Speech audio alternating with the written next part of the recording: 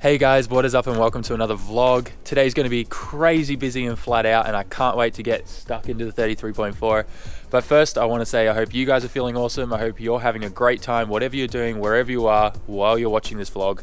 Um, things that we're doing on the 33.4. In previous vlogs, I kind of talked about it, but uh, let's go through the list. We're going to do the front mount Greddy intercooler kit. We're going to replace all the gaskets and seals for the cam covers, as well as paint the rocker covers at the same time. We're going to pull down the whole front of the engine, pull the radiator out, do a coolant flush, as well as check the tension on the timing belt because um, it's still kind of howling a little bit. Then once I've put all of that back together and checked all of that, we're then going to go to the rear of the car and we're going to um, kind of chafer off the edges of the brake pads to stop them from squealing because I have a like a high kind of racing type of high performance um, pad, so it kind of squeals a little bit. And then, uh, yeah, just general checks all over the car, pack the car, get it ready for tomorrow drifting with Oka-chan again at Nikko Circuit. So that's enough talking. Um, let's get started.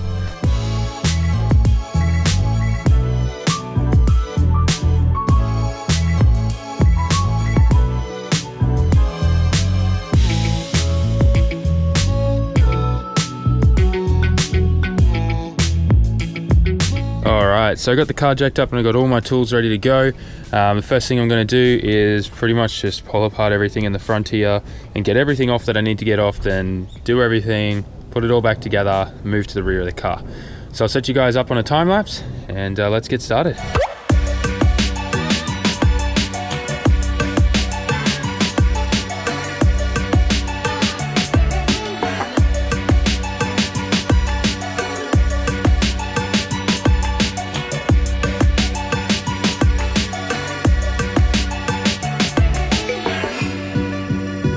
Okay, so I've taken everything off the top of the engine that's preventing me from getting the cam covers out. The last things that are left to do is take off the valley or the coil pack cover so I can get to the bolts on the inside. And there's bolts that go along the outside and the inside. Once you get those, those they'll lift out. Now, what I wanted to show you guys is this is exactly what I was talking about where the seals start to leak and the oil starts weeping out of the side of the head here and then just starts dripping down your block. And it's just, yeah, it's nasty. If you've ever owned an RB, you probably know exactly what I'm talking about. Anyways, I'm gonna um, get all of that, the rest of the stuff that I need to do, take it off, get the covers off, clean them, paint them. I'm gonna be painting them a nice red, kind of like the same color of the car, um, and then clear coating them. So I'll put those in the sun while they're drying, and then I'll pull down the whole front of the engine and do everything else.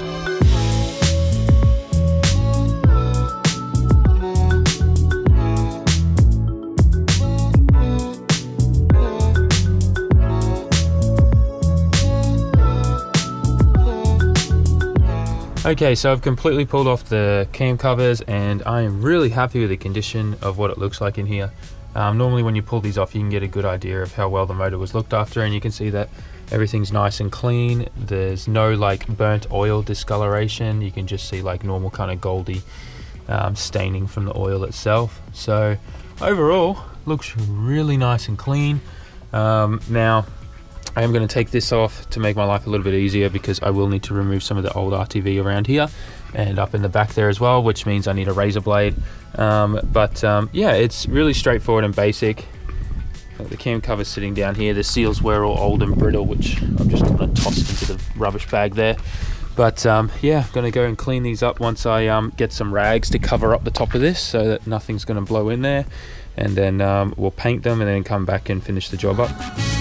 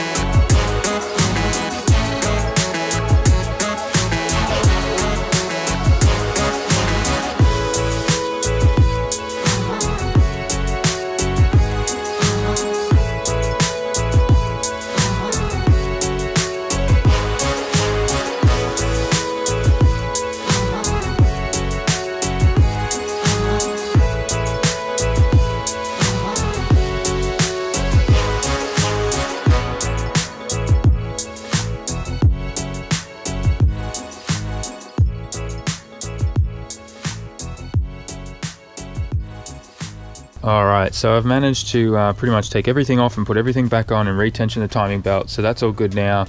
Um, and I'm still waiting for paint to dry. I went and did another coat. So what I'm going to do is take the whole front bar off and start working on getting the uh, front mount intercooler all mounted in.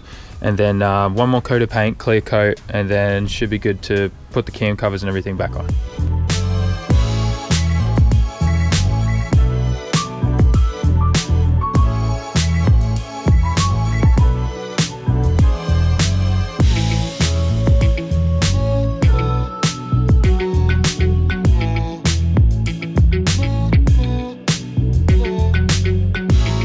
Alright, so I've made a pretty large mess here um, and I've got a little bit of bad news. I've just come to the conclusion that I can't install this front mount intercooler today.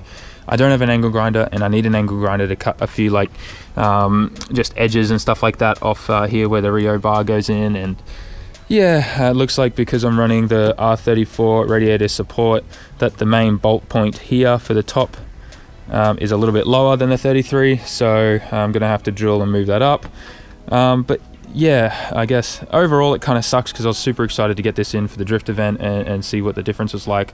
But, um, you know, these things happen, especially with cars. So I'm just going to put this in the box, put it inside, and then try to finish everything else up. We'll go with the side mount for now, and just keep using that as we have been. Um, and everything should be good. Uh, my priority right now is to just get everything back together so that um, the car's running and I can pack everything, get a good night's sleep, and leave at four o'clock in the morning. So Yes, um, definitely cutting it fine, but it's okay. Um, I got the majority of everything done. Um, I'm just really bummed about the front mount, but I'm sure I'll get onto it in the next week or so. I need to go out and buy an inter uh, not an intercooler. I need to go out and buy an angle grinder. I was actually kind of surprised I haven't bought one yet, but anyways, um, so that's what's happening. I'm just waiting for another coat of paint to dry on the rocker covers. They haven't turned out that great, but once again, my priority is to just get the car running for tomorrow. I think I bit off a little bit more than I could chew for today, especially one day before a drift event. So lesson learnt, and uh, I'm just gonna try and piece this all back together now.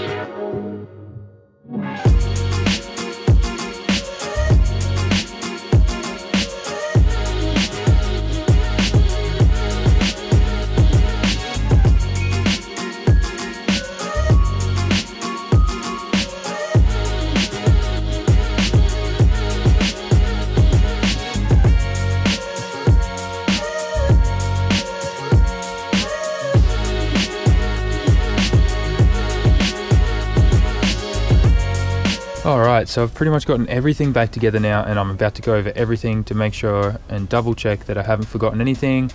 Um, otherwise, the only other thing I need to put in is my strut brace which goes across. Other than that, um, I think that's about it. Just going to start her up, take it for a test drive, make sure everything's all good, then fill up the back seat with tires. I do need to do a couple errands with May tonight as well. It's about 7 p.m., so we're going to head out at about 9. Um, but yeah, it's it's going to be a bit tight, but I'll be able to get home, get a nice sleep, and make it to the drift event tomorrow, providing everything from here goes well. All right, so I got the car running. Um, everything seems good. Going to take it for a quick test drive now, and at the same time, I'm going to stop into Unidi, and uh, I need to top up my power steering fluid because there was a little leak there from a loose hose clamp. Fix that, so I'll top that up. Um, and then just another bottle of coolant to fill my overflow, and uh, that's pretty much it. So let's go. Alrighty, here we go. One extra bottle of coolant. and a little can of power steering fluid. All right, good to go. Car feels really good. No boost leaks or anything like that, which is great. All right, guys, so time warping ahead here and it is 11 p.m. I've just jumped out of the shower. I'm about to go to bed. It's 11 p.m. and I've got like five hours of sleep before I got to wake up and head to Nikko. Now, let's go over everything that happened today. So, started off the day, did a whole bunch of Ataka garage work, then started working on the car, set myself massive high expectations to try and get all this stuff done that in my head I was like, oh yeah, it should only take me a few hours here and there. Then obviously, you know, like it dragged out a lot longer than that. And um, then I found out I couldn't actually, you know, uh, install the intake. Uh, sorry, not the intake manifold, the um, uh, intercooler. I'm sorry, I'm really struggling. I'm tired. Um, so yeah, couldn't install the Greddy intercooler because I need an angle grinder and need to be able to do a few things to be able to make that fit, which sucks. But you know, that's life and that's cars. Um, and then obviously the paint on the uh, cam covers didn't like it at all. It looks terrible up close, but you know what, I need to stop being such a perfectionist because at the end of the day, the car's running. I just finished driving it for about an hour and a half with May. It's flawlessly working, no problems. Um, and I get to go drifting still tomorrow. So at the end of the day, even though I was upset before, right now I'm super happy because I still get to go drifting tomorrow. Anyways, guys, I don't even know what I'm saying. I think I'm rambling on. I'm so tired. I'm going to go to bed, but thanks heaps for watching. Make sure you like, comment, share, and subscribe. And I'll see you in tomorrow's vlog at Nikko Circuit Drifting. Man, I cannot wait to learn more and get better. Oh, so excited. Anyways, guys, ciao matane.